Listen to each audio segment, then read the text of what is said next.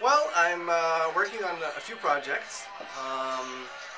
and uh, interestingly, some of them are related to the papers that I'm writing for AERA, so uh, they're sort of somewhat on my mind at the moment. I'm mostly being late for writing the papers. Uh, one of the areas that I'm interested in, uh, that I'm working on, is the um, pedagogical nature of space,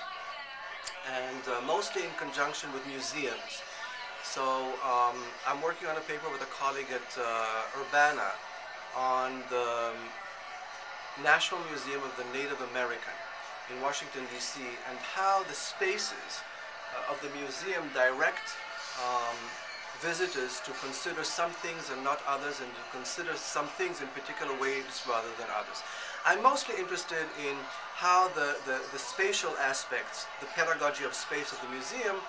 um, invites participants to ignore and not implicate themselves in the genocide that took place with Native Americans uh, through the European expansion to the West. so that's one project I'm working on. Another project I'm working on with a doctoral student is um,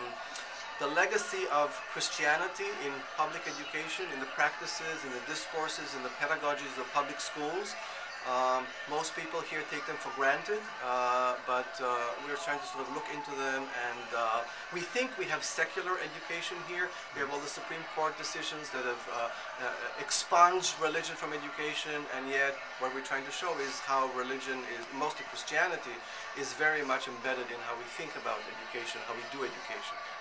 So uh, that's the second project I'm working on and um, a third project I'm working on, another also with a doctoral student, is um, looking at student teaching, uh, which is bookended in two ways. From, you know, with the with the courses we teach here, and then with what they they experience in the field, and looking at how at the end of the teacher education program, the degree to which the, the student teacher's imagination is still broad and wide, or has been narrowed to be very functional and to do the kinds of things that are required to be do that they need to do as, as teachers rather than keep their thinking open and uh, generative and imaginative as to the possibilities in their field of teaching in my in my case it's social studies or not. So those are the three projects I'm working on now.